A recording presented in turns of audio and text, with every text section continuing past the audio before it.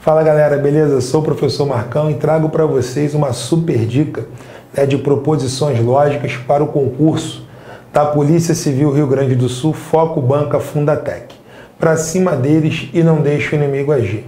Marcão, quero estudar com MPP. Tem o curso da Polícia Civil Rio Grande do Sul? Com certeza. Tá tudo aqui mastigadinho na descrição do vídeo, galera. É só você clicar no link que já vai direcionar você direto para a página do curso. Né? Preço mega acessível né? e com certeza caberá aí dentro do seu orçamento, dentro do seu bolso. Né? Lembre-se que a única coisa que ninguém vai tirar de você é o estudo. Né? Isso aí é uma coisa que ninguém tira, é o maior investimento que você pode fazer. Aí é, é de cada um, né? Eu sempre falo isso que estudar é uma coisa que várias pessoas, né, botam aí empecilhos, enfim. Mas, por exemplo, para comprar uma roupa, comprar um tênis, um relógio, um celular, né, um smartphone aí dos sonhos, ninguém bota empecilho. Você parcela lá em um milhão de vezes. Mas, enfim, isso aí é de cada um. Né? Siga-nos nas nossas redes sociais para você ficar por dentro de toda essa programação, das dicas, dos aulões, do quiz, enfim, de toda a programação MPP fanpage, Instagram e claro, né, inscreva-se em nosso canal, né, é só clicar no botãozinho vermelho e ativar as notificações que com certeza você vai ficar de cara pro gol. Vamos à dica? Tá aí. Dica de proposições Polícia Civil Rio Grande do Sul, Banca Fundatec. Marcão, só mais uma pergunta. Eu não vou fazer esse concurso. Como é que eu faço? Deixa aqui um comentário. Qual é o concurso que você pretende né, fazer? Que iremos né, dar aí uma orientação bem bacana para você. Beleza? Vamos lá. Sejam dadas as proposições a seguir. Tá aí, quatro proposições. Quais delas são proposições. Só que para matar essa questão, você tem que saber o que não é proposição. Será que toda frase pode ser considerada uma proposição lógica? Então, pessoal, vamos lá. Caneta e papel na mão. Não são proposições. Frases interrogativas, exclamativas, verbos no imperativo, declarações sem verbos, declarações sem verbos, declarações sem verbos e sentenças e sentenças abertas. Né? Sentenças abertas está associada a alguma indeterminação.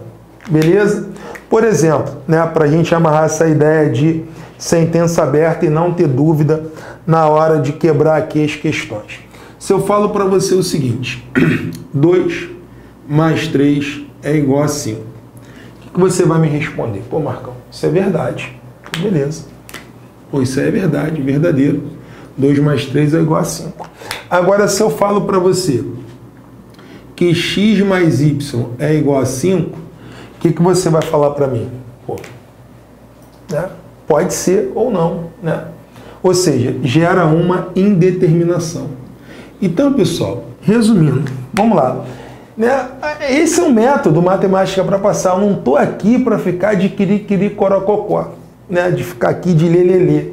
Eu tenho que né, saber o que fazer dentro da questão. Você não pode titubear, não pode perder tempo. Então, qual é o bizu aqui, pessoal? Vamos lá, para a gente não errar esse tipo de questão. Declarou, declarou, informou é uma sentença fechada, é uma proposição. Não declarou, não informou é uma sentença aberta. A mesma coisa acontece né, com os nomes. Né? Por exemplo, vamos lá. Aqui, ó. Renato é cantor. Beleza. Por mais que você não conheça o Renato, né? Isso aí ou é verdadeiro ou é falso. Vai ter uma valoração, né? Isso aqui é uma proposição lógica. Agora, se eu falo para você, ele é cantor. Galerinha, a mesma ideia do número, né? Ela serve para as pessoas, para os nomes em geral, né? Declarou e especificou é uma sentença fechada, é uma proposição. Não declarou, não especificou o nome, é uma sentença que aberta, gera uma indeterminação. Vamos lá, partindo agora para as questões. 3x menos 6 menor ou igual a 9. Pessoal, isso não é proposição. Por que, que não é proposição, Marcão? Porque tem uma variável. Sempre que você tiver uma variável, tá? É uma sentença aberta. Então não é proposição por quê? Por que, que não é proposição? Porque é uma sentença aberta, tem uma variável. Beleza? Então tem variável, é uma sentença o quê? Aberta e não é uma proposição.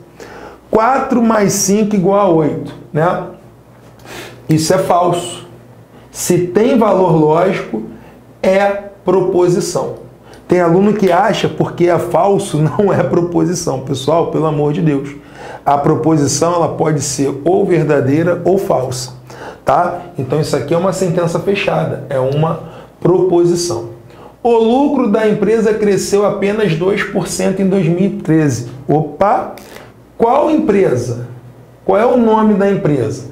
Então, não declarou, não especificou, é uma sentença aberta está gerando o que? Uma indeterminação. Então, pessoal, não é proposição. Por que, que não é proposição? Porque não declarou o nome da empresa, lucro da empresa. Beleza? 2 é o único número primo que é par verdadeiro. Ou seja, se tem valoração, é proposição. Então, pessoal, mediante isso, Mediante isso, quais delas são proposições lógicas? Aí eu vou olhar A2 e A4. Gabarito, letra E, de eu vou passar no meu concurso. Beleza? Então, galera, eu vou ficando por aqui. Siga-nos nas nossas redes sociais. 2018, nossos cursos, né? Todos eles estão com simulados né, exclusivos para os nossos alunos. Venha estudar conosco e faça parte dessa equipe né, campeã em aprovações. Dá uma olhadinha lá em depoimentos e, claro, né, daqui a pouco é você que vai estar lá escrevendo, se Deus quiser, com a sua vaga. Beleza? Fique com Deus e matemática o quê? Para passar. Valeu, galera!